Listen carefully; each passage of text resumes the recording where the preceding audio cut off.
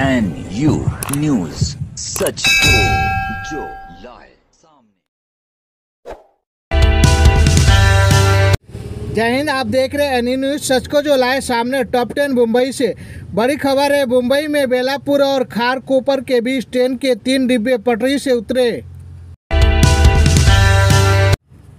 आठवीं मंजिल से कूदकर जान देने वाली आईआईटी बॉम्बे 18 वर्ष के छात्र की आत्महत्या की जाँच मुंबई अपराध शाखा एसआईआई को सौंपा गया। बहादुरगढ़ में 10 दिन में आठ सड़क हादसे हुए। दो महिला समेत आठ लोगों की हुई है मौत। फिरोजाबाद में हाईवे के किनारे होटल पर छापा पड़ने पर मची खलीबली अधिकारियों से हुई नोकझोंक। तीन होटल को किया गया सील। बिहार के इटावा गाँव में शॉर्ट सर्किट से लगी आग। तीन लाख की संपत्ति जलकर हुई राख।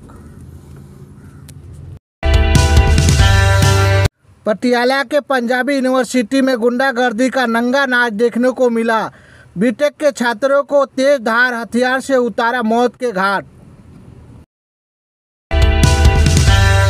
मुंबई से एक हैरानियत भरी घटना सामने आई। पड़ोसी में रहने वाली तीन नाबालिग बच्चियों को किया गया अत्याचार। मुंबई पुलिस ने किया 42 साल के शख्स को गिरफ़्तार।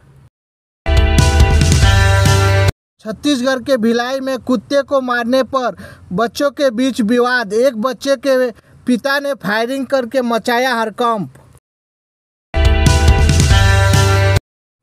तुर्की में नहीं थम रही है तबाही तीन हफ़्ते बाद फिर से आया भूकंप।